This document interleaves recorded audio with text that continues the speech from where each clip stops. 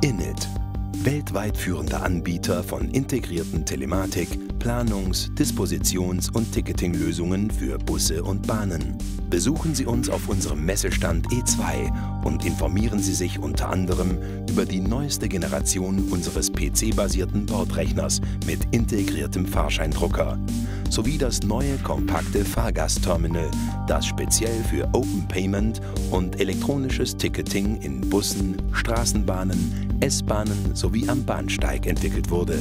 Bereits auf der Fahrt zur IT Trans erleben Sie unsere Technologie im Einsatz. In den Shuttlebussen der Verkehrsbetriebe Karlsruhe erhalten Sie einen interessanten Einblick in die aktuellen Möglichkeiten von Fahrgastinformation und Fahrgast-TV. Location-Based Advertising sind die Werbeeinnahmen der Zukunft. Getriggert, ausgelöst durch den Bordrechner, kann Werbung angezeigt werden, bevor der Bus am werbenden Unternehmen hält. Regionale News als Bewegtbild bieten den Fahrgästen Information und Unterhaltung.